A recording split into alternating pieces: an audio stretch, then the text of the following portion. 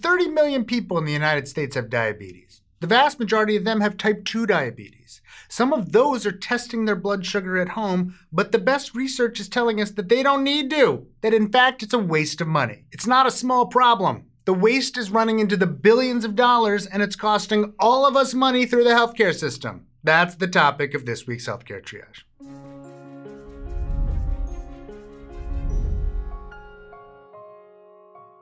For people with type 1 diabetes, blood glucose monitoring and insulin administration is the standard of care.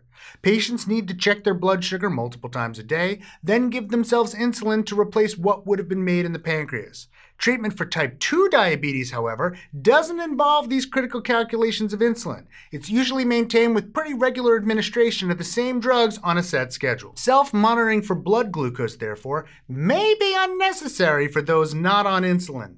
This has been tested in well designed studies. The Monitor trial, published two years ago in JAMA Internal Medicine, was a pragmatic trial that took place in 15 primary care practices in North Carolina.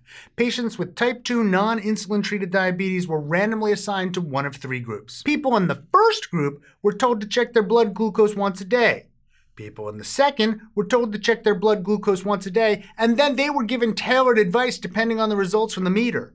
The third group was told not to check their blood sugar at all. After one year, which is a pretty impressive length for a study like this, there were no differences in the hemoglobin A1C levels, which is the best way to monitor long term blood glucose control, between the three groups. There were also no differences in the health related quality of life measures for the patients. There were no differences in the number of times they experienced hypoglycemia, how much care they needed, and how many progressed to the need for insulin. In other words, there were no measurable differences in how patients fared, whether they checked blood sugar or not. This evidence, while the best to date, confirmed what previous work had shown. A 2012 Cochrane review assessed all the randomized controlled trials through 2011 that had investigated how testing for blood glucose at home improved outcomes. It included 12 trials involving more than 3,200 patients.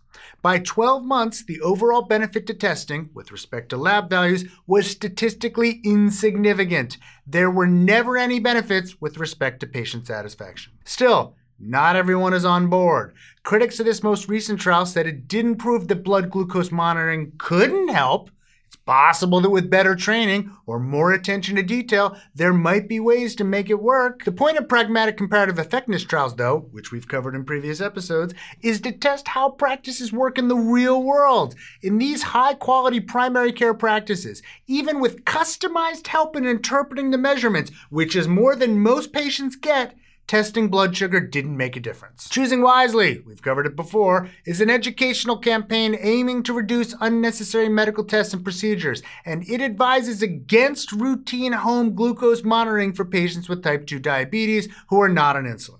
It says that there is no benefit and that there are potential harms, like an association with increased anxiety. This argument is supported by the American Academy of Family Physicians, the Society of General Internal Medicine, and the Endocrine Society. Of course, there are exceptions. When patients are acutely ill or changing regimens or finding that their blood sugar is not well controlled, testing may be appropriate. Such decisions should be made in consultation with a physician. But for most people with type 2 diabetes not on insulin, testing is inappropriate most of the time.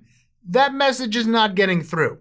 At the end of last year, another study was published in JAMA Internal Medicine that quantified the prevalence of glucose testing in adults. Researchers examined a database that contained data on more than 370,000 commercial health insurance and Medicare Advantage beneficiaries who had type 2 diabetes. Of the more than 23% of patients who were using testing strips, more than half were probably doing so in spite of widespread recommendations that they should not. They were using a median of two testing strips a day at a cost of more than $325 per year per patient. On another front, the New York Times and other places have reported that a surprisingly large number of people who use insulin are using less because they can't afford it, putting themselves in danger. With a healthcare system as complicated as ours, it's hard to take money from one pot and shift it easily to another. Efficiency in each system is crucial. The fact that a necessary facet of diabetes care is increasingly out of reach, while unnecessary and potentially harmful care is easily overused illustrates how much work still needs to be done. Hey, do you like the show? It really helps if you like the video and really if you subscribe right down there. And another good way to support the show is at patreon.com. Go to patreon.com slash healthcare triage. We'd especially like to thank our research associate Joe Sevitz and our surgeon admiral Sam. And if you love healthcare triage content, get even more at the Healthcare Triage podcast. It's great. Get it at iTunes or Spotify or wherever you download your podcast content.